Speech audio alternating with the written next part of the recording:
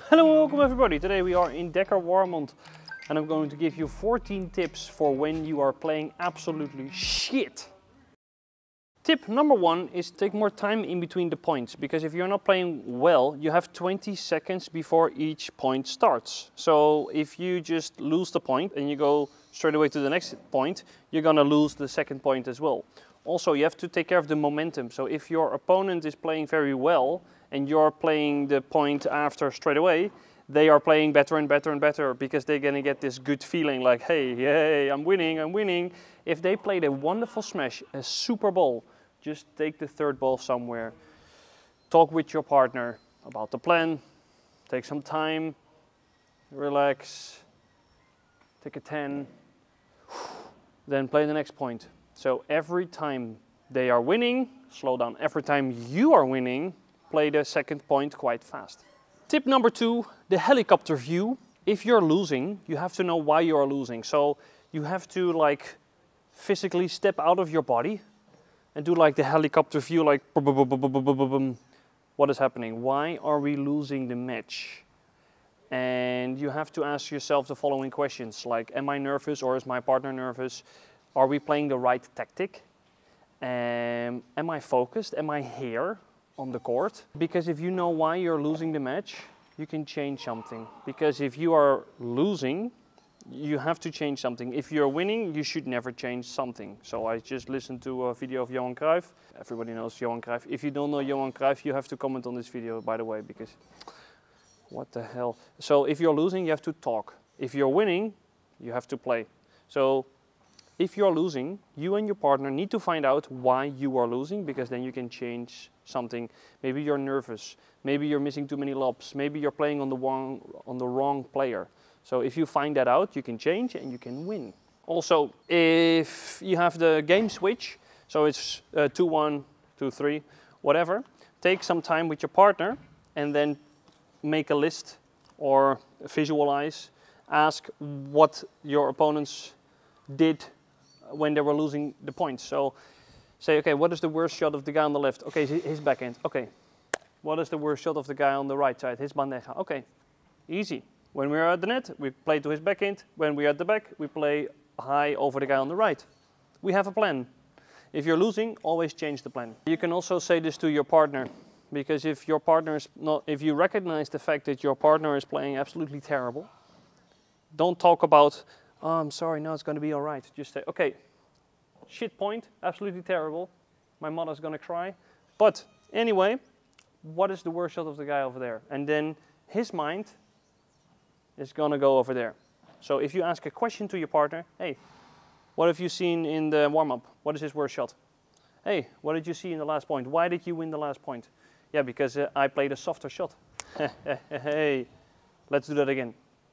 Tip number three, don't look for the moment. This is what a lot of players do when they're losing. They're playing shit, they're playing terrible, they are crying inside, they are visualizing them, smashing their racket into the glass or something else. So if, if you have that, you want to sometimes look for a moment, like for a kick smash, like I'm playing super terrible, and okay, I'm gonna play for the kick smash, if I hit it, I'm back in the game. It's not like this. It's not like this. If you play terrible, we have to make a rule that you can never ever make three mistakes in one single game, not more.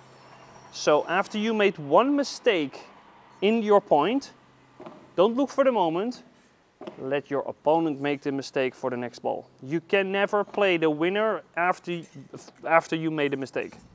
If you made a winner, you can make another winner. But if you made a, uh, if you made a non-forced error, you cannot go for the winner for the second time. If it's super easy, yes. But this is what you have to calculate and say to your partner like, okay, because also if you are playing not so well, you need more time to get back into the game. So maybe you need to play some longer points to get rhythm, if that makes sense. Because if they are winning easy points because you are making mistakes, they gonna play better and better and better and better, and they just don't need it. Tip number four, don't think about your technique. This is what a lot of players do. Uh, I have it. After I made a mistake, I'm analyzing my technique. I can feel where it's going wrong. After I did like a, a, session with a trainer, I can never play a match after because my mind is like twisted. My, my brains are spaghetti in each other. Uh, this is not functioning anymore because I'm thinking about my technique. So if you feel like you are thinking about, oh, I don't hit the ball correctly, or eh, very strange, why am I doing this? Why am I doing such strange lobs? And you have to go out of yourself and think about the plan. So if you see your partner after missing the ball like, no, you have to do this. Avoid that. Try to think about where are you going to play the ball? How are you going to play? Should we play more lobs? Should we play to the guy on the right? Should we play on the guy on the left? And then you have a tactic and then you're gonna get back into the match. Tip number five, play more margin. So if you're losing, you want to make less mistakes. You want to keep the ready going because you want to get back into the game. So play more margin. So play higher over the net, play softer shots and play more cross courts. Because if you play cross courts, the angle is longer. If you play higher over the net, you will not hit the net. Maybe you play out, but then you have to play slower and everything is solved. Tip number six is leave the court after the set. So I had this before. I was playing tennis. I had to play against a guy. I played decent tennis level. This guy only played tennis for six months. Uh, he was kicking my ass. He had zero technique. He was coming from table tennis. So he had the ugliest technique that I've ever seen. He was wearing a Juventus shirt instead of a tennis shirt. And I was losing 6-1 in the first set, which is insane because I played tennis my entire life and this guy just for six months and I was losing. So what I did is I went to the bathroom, I looked into the mirror, I said, Sven, what the hell are you doing? And I splashed some water into my face. I put on a new t-shirt, I came back into the court, reborn as Sven the guy that's going to kick his ass. And I came back and I won the match 6-1, 6-0 in the second and the third set. So sometimes you have to leave the court because in the first set, after you lose it, you can go off the court. You're allowed to do that. So go off the court, forget about everything, and then get back into the game. Because if you just lost a set, even though it's like 6-0 and you're, you're not really changing, take that time, go off the court and then come back in because you need to reset the brain and you need to come back. So sometimes I just took a, a different racket, let's say I have two of those, I take the other one. I take a new t-shirt or a new outfit, splash in water, towel. Take more time, come back and win the game. Tip number seven is smile. Make a joke. So if you're nervous, uh, which is super normal, uh, which everybody has, you need to accept the fact that you're nervous and that it's totally fine. But you need to also to know that you might play a little bit better if you can get rid of the nerves. So I once was coaching one of my best friends. He was totally stressed and we were playing next to a hockey field. And I said, amigo, have you seen number 17 of the hockey field? She looks really good. And then he was like, who? Oh, wow. yes, she looks good. I said, okay, now you're going to win the game. So he had to laugh. We were joking. I have multiple more offensive jokes that I normally make, but I might get cancelled, so I take it like this. But make a joke. Okay, so uh, a German guy, a Mexican guy, and Spanish guy walk into a bar. Laugh, get back into the game, because also padel is fun. You need to enjoy the time you have on the court. Don't make it too serious. There are way worse things than losing a padel match in your life. Tip number eight, play the game so your best player gets the ball. So most of the time, at least one of you is slightly playing better than the other one. Let's say I play on the left and I'm playing better. I'm gonna play to the guy on the left so I get the ball back. Um, if we play to the right player because maybe their right player is worse, it's okay, but then all the balls are going to my partner. Uh, last week I was playing a FIP horn with Cameron. The player on the right was worse than the player on the left. But Cameron uh, had the sun in his vision because he was a left-handed player. He still is, by the way. And then I could take more of the ball over there. So what they were doing is they played all the lobs to him when we were playing on this side of the court. So I said, okay, let's play more to the player on the left. So if he lobs the ball, I can get it. So this is a way, this was, we were playing quite similar with our level. So if you can do this, you can change the game, but also depending on you and not on your opponent. So if I'm playing better, we're going to play to the player on the left. If Cameron is playing better than me and he's playing on the right, we're going to play more to the player on the right so he gets the ball. Tip number nine is celebrate the point. A lot of players are very negative to themselves, which is not good. And when they make a nice point, it's like, oh, finally I make a good point. No, you have to, come on, yes, Vamos. You have to do a high five, a box. You have to celebrate the point. You, get, you need that positive feeling back into the game. So if I am nervous or if I make a nice point and I need it, I'm gonna scream vamos as loud as I, as I possibly can because I want to feel winning in my veins. So this is so important that you're uh, uh, neutral or positive because then you can get to that other level. And if you're losing, you have to go for the vamos. You have to go vamos. Otherwise, you're not a real subscriber of the channel as well. We cannot have that. Tip number 10 is avoid negative visualization. So they did a test once with people that were thinking about the, the exercise, visualizing what they did with basketball players, and one group was actual training. And they figured out that it's the same, uh, the training is just as good. So if you visualize it, you're just as, the, the level of the training is the same level. So after you made a mistake, a lot of times what happens is that you're negatively visualizing the movement. So you see yourself failing after you did a after you failed. You don't need that. So after you made a mistake, you have to start making a, a different visualization. You have to see yourself playing the correct shot. You have to see yourself playing to the correct angle with the correct speed.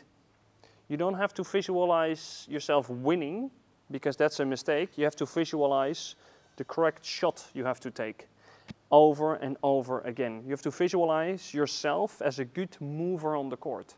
That's a bonus tip. Be more active than your opponent because if you're playing shit, you have to work harder than your opponent. 11. Don't play the score, play the game.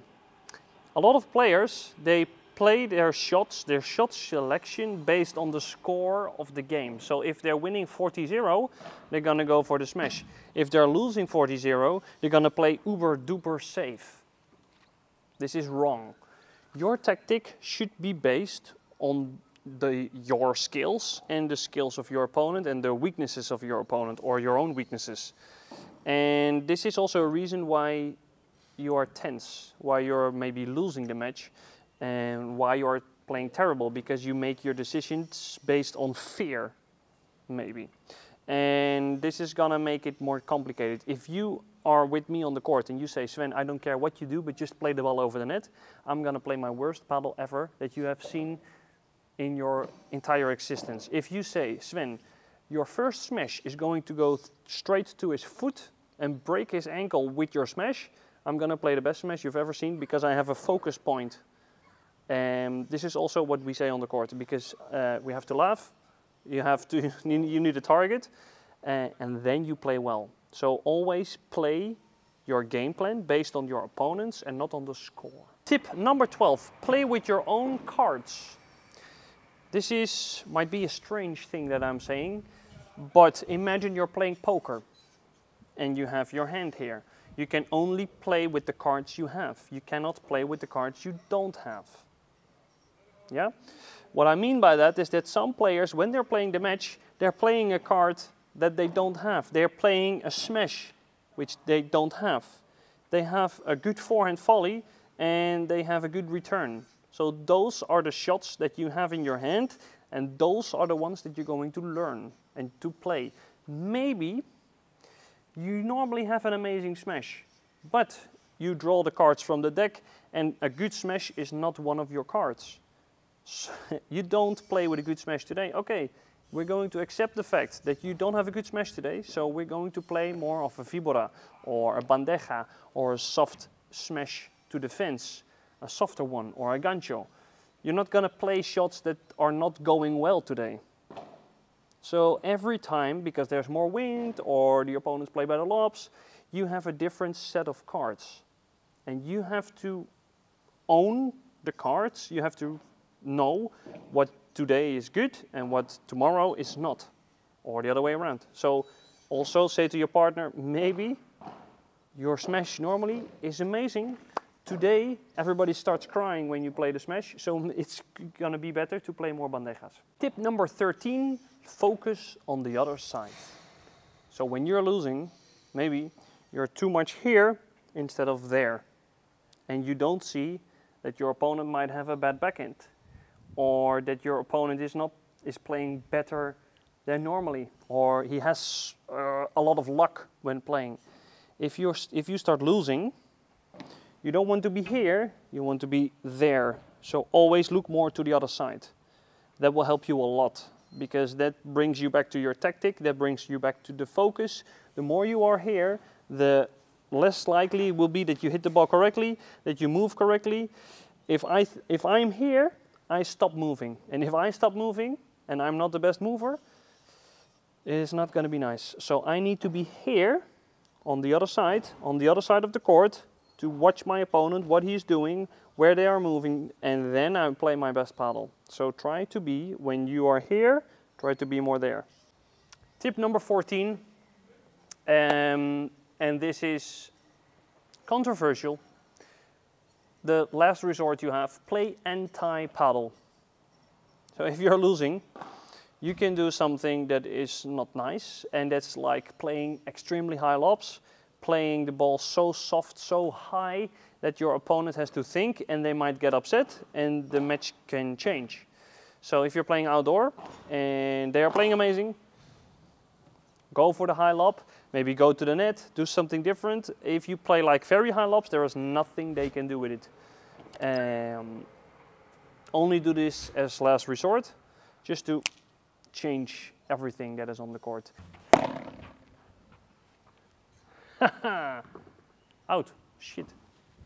If this is any help, it would be so nice if you can like the video, if you can subscribe to the YouTube channel because we want at least 60,000 subscribers at the end of the year. So that would be amazing. Thank you all for watching. Hasta luego. Ciao. Adios.